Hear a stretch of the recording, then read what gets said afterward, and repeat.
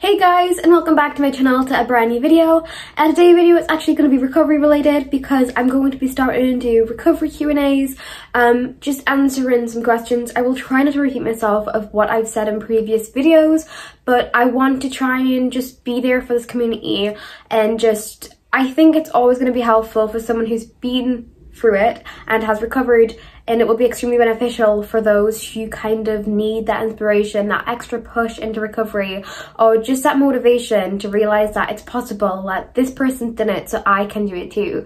Because it really helped me when I would sit and I would watch Tabitha's videos and knowing that she's been through it and she's did it and I think that reassurance is something that we all definitely need and I hope this video helps you. So I took to Instagram to ask you guys what you want to see more topics on. Um, I've listed a few, I've wrote down some um, because there are so many and I will make sure to make more videos in the future about these different topics but for now I'm going to answer these ones. So first of all is how do you go from quasi recovery to all in recovery having no hunger cues whatsoever? So let's discuss hunger cues first. So hunger cues are kind of non-existent when you first start recovery. It can be either way. You can be really, really hungry or they can literally be non-existent. And that's mainly because your body's not used to sending hunger signals because it's kind of got to the point where it's given up on sending hunger signals. So say you haven't ate enough food, you're not going to have enough energy to send hunger signals and, you know, the mental hunger or the physical hunger cues. And it's often in the case that you will become more mentally hungry than physically hungry because of the fact that um, since energy is used to create these hunger signals, once you have enough energy to start sending hunger signals, it's going to want to store the energy. So it's going to want to just send mental hunger at first, which is a lot cheaper than physical hunger signals. Then over time, when it starts to trust you, it will start to send physical hunger signals. And that's usually when extreme hunger comes in. And you can have extreme mental hunger and extreme physical hunger. Hunger cues are also quite difficult because often the brain tricks you. The eating disorder tricks you more like because you might not think you're hungry, but you're actually really, really hungry.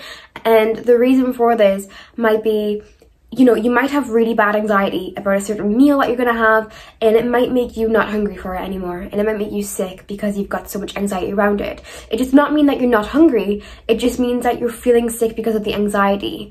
And that's why I would always get confused because I could be craving a Chinese takeaway and then finally agree to have a Chinese takeaway and then it would actually come down to it and I'd be like, I don't want a Chinese takeaway anymore. When in fact I did crave a Chinese and I was still hungry for a Chinese takeaway but because of the anxiety, it made me feel like I wasn't hungry for it anymore.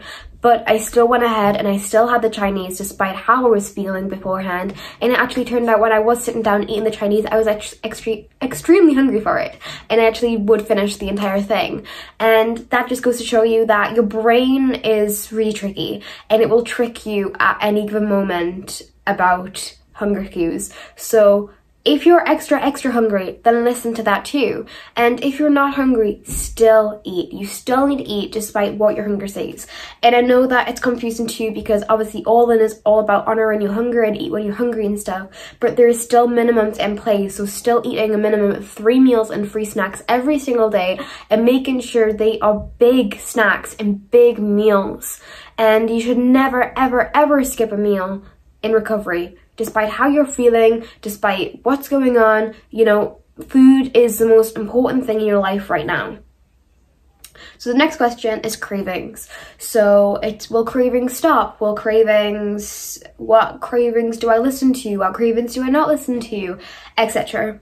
Um, so cravings will stop I know from experience, obviously. So I used to be craving lots of different food. My main cravings in recovery was usually um, takeaway, so Chinese to be specific, um, pizza, Domino's pizza, uh, and I also really craved cake. So cake was like my main thing I ate during recovery, and I would eat like eight cupcakes, sometimes entire cakes and stuff. And now when I bake a cake, I do not eat, need to eat the entire cake because I don't extremely crave the entire cake. And another thing is that when it comes down to things like um, takeaways now, I still, if I crave a takeaway, I will still have a takeaway. I still crave takeaways sometimes. And the difference though is that I don't feel the need to eat the entire thing there and then because back then it felt as if, oh, this might be the last time I get a takeaway and like three months or something so I might as well eat you know all I can at this given time and this would be like a common thing um, that I would feel the need to eat everything then because I didn't know the next time I was going to get it. So like my brain would freak out and um, I'd eat a lot of food and that's fine, it's completely normal, it's a normal reaction to you to have in recovery. Whereas now I don't have that kind of food as discourse kind of thing, like I don't have that anymore. So that's another thing that it won't last forever, it's just temporarily and you know, it will get better. Also, what craving should I listen to is every single craving you have, you need to listen to it. Even if you just ate, even if you feel really, really full, if you're still able to fit in like a packet of biscuits, if you want to have a packet of biscuits, then go ahead and eat the full packet of biscuits. You're allowed to do that. It's your recovery. You get to choose what you have and you don't have to eat what you think you should have. You eat what you know you crave and what you know you want. Um, so another thing I always say too is that say you crave like a bar of chocolate but then you're like I'm just up for the banana to see if that fills me it's not going to satisfy your craving yes it might fill you physically I highly doubt it too but it might fill you physically in that kind of sense but it does not mean that you're going to be satisfied from that banana and then you probably end up eating the chocolate bar when you could just eat the chocolate bar to begin with in the first place and it would have been done with don't make it harder for yourself. Like one thing I learned from recovery was I, in certain areas, I made it harder for myself. And I don't know why I made it hard for myself, but I just did. It was like I would do the thing, I'd freak out about meals and stuff when you know, say I would freak out about meal, my mum would just be like, just get a takeaway then if you're so stressed about it. But that would make me more stressed. When in fact, having a takeaway would make it much more easier because I wouldn't have to worry about, you know, making something or thinking about having something because it's a takeaway, especially if it's getting from the Chinese, where it's kind of like the same order. Um, I wouldn't have to worry about all the ingredients. I wouldn't have to worry about know what the calories are and stuff. So, like, I would just make this harder for myself when in fact it doesn't have to be that hard. We overthink it. Because food is our main focus, you overthink it. You overthink everything about that meal. Another thing is comparing. Um, another question was how do I stop comparing? Um, what's comparing like for you now and stuff. So I don't compare my, my food or myself to anyone anymore because you kind of learn, you get to a point in recovery where you're just like, fuck it. Literally, fuck it. You're just like, I don't care anymore about what people think about me. I just want to be happy. I just want to be better. And this is kind of like the mid-range of recovery and you're in the end where you sort of have this moment where you're just like, I don't care anymore. I just want to be better. And I was like this for a really long time. Um, you know, just blocking everyone out and stuff. But before I got to this phase, I was like extremely disordered. I would compare myself because you're hyper focused around what other people are eating. You're hyper focused on what the world's eating even. You know, you, you sit down and you end up watching hours upon on hours of like 10,000 calorie challenges, what I eat in a day. That's not normal behavior. That's eating disorder behavior. That's extreme hunger behavior. You're hungry, you need to eat. Instead of watching other people eat, you eat. Or if that comforts you watching other people eat as well, then you know what? Eat alongside those people, watch those people, but sit down with a huge snack plate as well. Do you know what I mean? Like, you can't just sit and watch others eat and just not do it yourself. And another thing I would do was I would I would tell people, I would watch people what other people eat. And then if they didn't eat enough food, I'd be like, you haven't eaten enough food today. You need to eat this and this and this. That's not enough to eat. And they'd like turn around and look at me and be like, what have you ate today, Emma? And I'd be like, do you know what I mean? That's not good. You should not give advice on what other people are eating if you're not eating enough food yourself. You are not kind of in that mindset even to give that advice to other people. As much as I'm sure you want to help people because you don't want people going down the same line as you, you are not in the position to give that advice. So first of all, stop looking at everyone else around you. Stop looking at whatever everyone else is eating. Because you know what? I used to do the same thing. And I know last night I had a Chinese takeaway of course. And um, I was sitting scranning, eating more than my family, and my mum was really full quite quickly. And I just looked at her and I was like, I just made a soggy comment like weakling about the food. Whereas if that was back in the day when I had eating disorder and I see my mum stop halfway through when she hardly eat anything, I would freak out. I would have just been like, oh my god, this is not happening. I cannot just sit here and eat, continue eating food while she's not eating food. She's only had this much and she's full and everything and that I should feel full now. I would have had this complete process going on in my mind. And it would be like clockworks going on in my mind. Whereas I literally didn't care less. Like you just don't care anymore. You get to the point where you're just like, right, she's full. That doesn't, that she isn't me. You know, I mean, she doesn't have my body. And I think a thing that helped me stop comparing was when I reached my set point. When I reached my set point weight and realised that my weight kind of wasn't budging and I was kind of just chill and I got to eat how much I needed for my own body and that, you know, what I ate was what I ate. You know, I needed to sustain my body.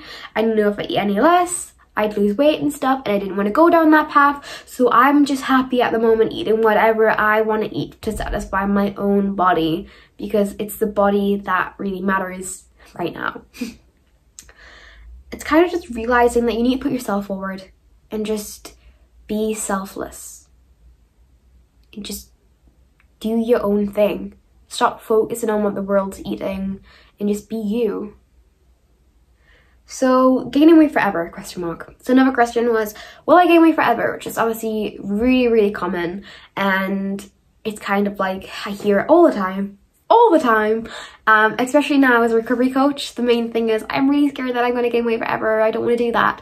And I get that fear. I had that fear. You know I was like it's gonna work for her but it's not gonna work for me. I would see Tabitha and be like yes she did it but I'm just gonna continue eating forever. I'm gonna develop a binge eating disorder. I'm not gonna be able to stop gaining weight. I'm gonna be like like a huge which was like a really bad thing in my mind back then um, I was even, even scared to get to a healthy weight because I didn't even want to be healthy weight because that was scary for me as well. And then um, I just kept gaining weight and I kept gaining weight and I kept gaining weight and I overshot my weight and I was freaked out. I was freaked out. I was like, oh my God, you know, I'm not stopping my weight. And then all of a sudden, it kind of just, it just stopped. Like it just, I just stayed. And I was just like, oh, so I'm not, I'm not going to gain weight forever and I realized that my food wasn't changing. I was still eating the same amount, but I wasn't gaining weight anymore. I mean, what I'm talking about, what I used to eat in recovery, I still eat a lot of the stuff that I used to eat in recovery just now. Um, I still eat big portions of food. I still eat a good takeaway now and again. I still eat cake sometimes and I, I, I eat chocolate every single day even. You know, that's normal for me and that's what my body wants and that's what my body needs. I'm gonna give my body what it wants and needs and I just don't care anymore because it's it's what's helping my body right now. You know, eating chocolate every day, people might be like, you know, when you see the dietitians and stuff being like, don't do that and everything like that. Piss off. You know what I mean? My body is functioning perfectly fine. I went for a bone scan the other um the other week. They were like, your bones look perfect. I went for a blood test. your blood's looking fine, your blood pressure's looking fine, you're really healthy. I am fine. And that's thanks to eating good food and, you know, eating chocolate and stuff and enjoying myself and eating what I want to eat. Uh, one of my biggest fears though was I started the pill and I was so scared that I gained so much weight with the pill. I'd be like, oh my god, I've just gained all this weight and I'm going to continue gaining weight. And I didn't. I didn't. Um, I know everyone's, obviously everybody's different, I gained like a few extra kilograms and that was it. And I was like, is that it? I was expecting so much more. But it goes to show you that if your body doesn't get, need to gain weight, it simply won't gain weight. And that's a good thing. So stopping behaviors. Um, also, just going back to that gain and weight thing too. But if your body, if you're restricting your intake, your body will continue to gain weight because it, it doesn't feel safe. Like it thinks that it's constantly going to need weight if you're still restricting your intake because it knows that it's constantly being starved. So just like, keep that in your head. Like, although you think that, oh, you know, I'm gonna, I'm helping myself by restricting myself because I'm gonna lose weight, blah, blah, blah, blah. Your ED is telling you that and it's feeding you lies because you will still gain weight while restricting. So would you rather gain weight while restricting and being miserable and unhappy and with a slow metabolism? Or would you rather gain weight while eating lots of food and enjoying yourself and eating chocolate and stuff and start speeding up your metabolism? You have a choice here. And I know which one I prefer. So stopping behaviors. So stopping behaviors is a thing that kind of happens when you start to slowly come of um, starvation as well. So like a lot of my behaviors that I started stop doing was kind of like when I realized that I didn't have to do them anymore. I didn't gain anything from them. You know, like you know, having the same amount of fries each time, wanting a way out stuff. Like when you realize that life's too short to do that stuff and you stop having the time to do that stuff, you'll be like, oh, I don't need to do that stuff anymore. It's pointless doing that stuff. But you need to snap it in the bud. Like you can't just let it go on and go on and be like, I'll stop doing this this day. I'll stop doing that that day. Do everything in one day. Like, you know, if you if you know that you have lots of behaviors, then don't just finish one in one day. Yes, that's an achievement and that's really good. But push yourself as much as possible to finish, like, to get all the behaviors stopped in that one day. Obviously, you know, that's not going to stay like that. You know, you might do the another behavior another day and whatever. But if you're able to just focus, that be like, I'm not doing any behaviors whatsoever and going cold turkey on all of your behaviors that you would usually do, it will help you. It will benefit you so, so much. So looking after yourself after recovery is another question. So someone asked me, um, do you still eat your five a day? Do you still eat vegetables? Do you still, like, what does looking after yourself look like after recovery? Um, looking after myself in recovery is how I would say I looked after myself before recovery. So I kind of eat the same amount I did before recovery, um, a little bit more even. But I look after myself like it's it's really hard because every day varies. Like, you know, some days I'll eat my five a day, some days I won't eat my five a day, some days I'll eat fruit, some days I won't eat fruit. And that's just how I feel. Do you know what I mean? If I'm having a really bad day and I feel like I need that kind of, I need to feel really good, then yes, I will eat probably a little bit more like what I would say is like healthier and stuff because it would make me feel better and it does make me feel better because I feel more energized and stuff. Or say if I'm feeling quite rubbish and I want to do something like yoga then I'll do yoga or dance or whatever. But I don't make that my aim. Like I don't wake up and be like I'm gonna eat like avocado on toast for breakfast. I don't do that. Or I don't wake I don't wake up and have like plans or goals. I just see how I feel and what I fancy and believe it or not, even after recovery, your body will crave food like bananas and fruit and vegetables and stuff. Your body will do that naturally. And when that happens, I will give it. But I'm not just going to do something for the sake of doing it because I just feel like I should do it. I'll only do it if I feel like my body wants it and my body is crying out for it. Um, that's what looking after yourself is. And putting yourself first and feel comfortable and and surrounding yourself with people who make you feel good about yourself, surrounding yourself with people who have good vibes, not bad vibes, no negative energy, who just, who you're able to just depend on too. Like they give you support, they're able to be there because not every day is going to be easy. Not every day is going to be easy. It's going to be really, really hard days. But having the people with you who can support you and be there for you is the main thing. And stop being so hard on yourself. Start looking after yourself and start realizing that you deserve food and that you deserve to get better and that it is 100% possible because I'm living proof of that. And if I can do it, you can do it. Nothing is impossible. And remember that nothing great came from comfort zones. It's all about stepping out and stepping out of that little bubble that you've created and realizing that life is too short to weigh your conflicts so guys, I hope this video helped you. Lots of love. It's great to be back and bye!